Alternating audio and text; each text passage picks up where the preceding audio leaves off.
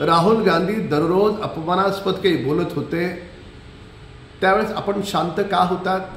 जसं मणिशंकर अय्यरनी वीर सावरकरांचा अपमान केला बाळासाहेबांनी स्वतःच्या चपलांनी त्याच्या फोटोला बडवलं.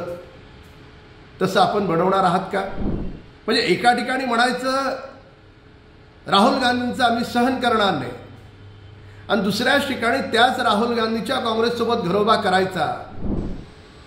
सत्ता गेल्याच्या तीन वर्षानंतर. आता माननीय उद्धव ठाकरेजींचं वीर सावरकर प्रेम उफाळून आलंय.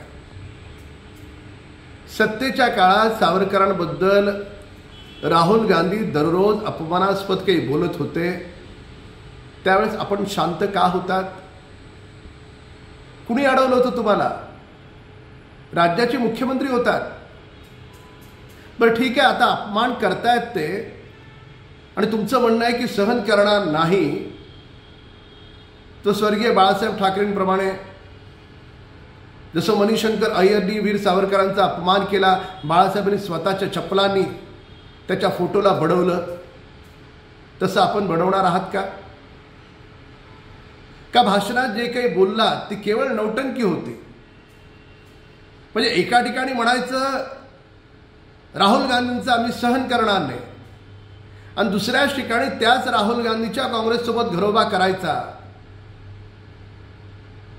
हा दुटप्पीपणा नाहीये.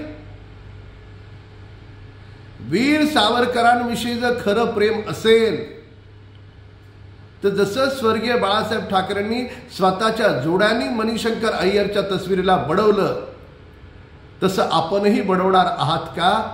हा महाराष्ट्राच्या जनतेचा आपल्याला सवाल आहे.